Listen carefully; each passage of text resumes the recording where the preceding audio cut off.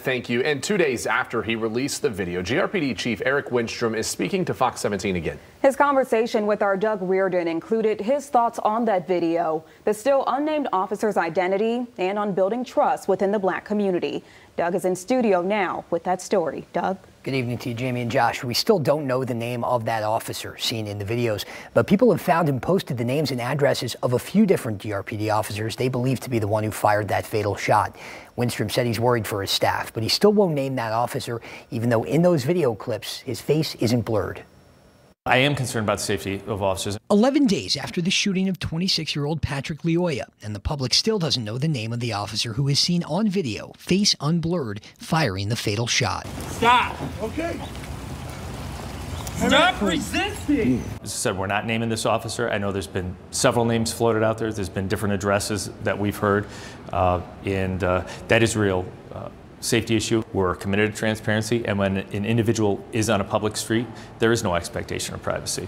Uh, the officer has an expectation of privacy for his name, but if it was a, you and I walking down the street and there's a video of us, uh, can expect that video to be made public. So it's simply, you know, following the law as the law is written. Chief Eric Winstrom has been troubled by recent cases of the public posting the names and addresses of a few officers suspected of being the one who killed Lyoya. He said it took him back to his days as a commander with the Chicago Police Force during nationwide unrest in the spring of 2020 after the death of George Floyd. A lot of officers started covering covering their names, and it wasn't because they they wanted to be anonymous as far as they were they had intent to do you know excessive force or anything like that. They just didn't want to be doxxed. Winstrom said even if no charges are filed criminally, that officer's name could still become public if the Lyoya family or anyone else files a civil suit. As for why that officer stopped Lyoya in the first place the morning of April 4th, police reports point to a mismatched license plate. GRPD uses automated license plate readers, but the video starts with the officer rounding a corner and making that traffic stop right away. In that video, we didn't get to see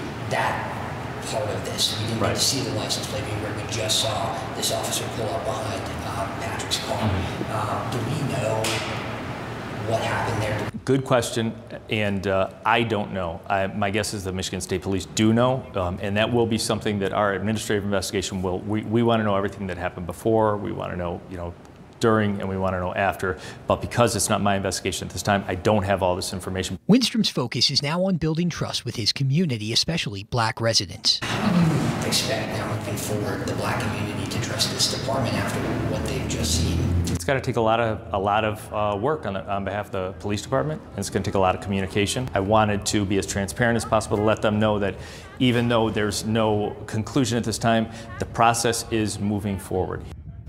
And guys, in those videos, you can see Lyoya and the officer struggling over a taser, and you can also hear that taser fire off twice. Winstrom told me they only hold two charges, so we asked, why was there still a threat after the taser ran out of charges? And Winstrom told us they also have a close-up stun gun feature that he said could still have posed a threat to that officer. And we have a very busy weekend of events downtown. We have a Griffins game tonight, we have a Kid Rock concert tomorrow, and also a planned protest that Matt mentioned. And Winstrom says they may be going through some long hours, his officers, but they will have all those events events adequately covered. In the studio tonight, Doug Reardon, Fox 17 News.